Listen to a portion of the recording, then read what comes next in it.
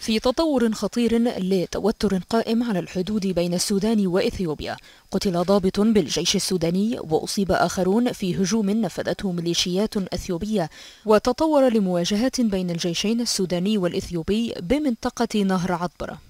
وذكرت الوكالة أن قوة من الميليشيات الإثيوبية توغلت واعتدت على بعض المشاريع الزراعية بمنطقة بركة نورين وقرية الفرسان مضيفة أن الاعتداء تواصل ليشمل الاشتباك مع القوة العسكرية السودانية في معسكر بركة نورين.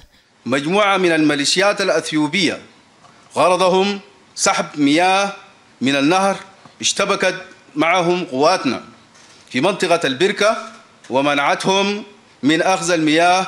المتحدث باسم الجيش السوداني أضاف أن القوات الإثيوبية استخدمت الأسلحة الثقيلة وأن قوات بلاده دفعت بالمزيد من التعزيزات إلى المنطقة مشددا على عدم التهاون مع التعديات من الجانب الإثيوبي.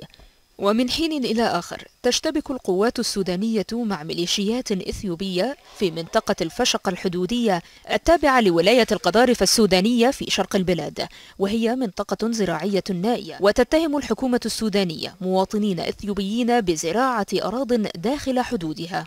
وقدر وزير الدولة بالخارجية السوداني عمر قمر الدين في وقت سابق عدد المزارعين الإثيوبيين الذين يزرعون داخل الأراضي السودانية ب 1786 مزارعا.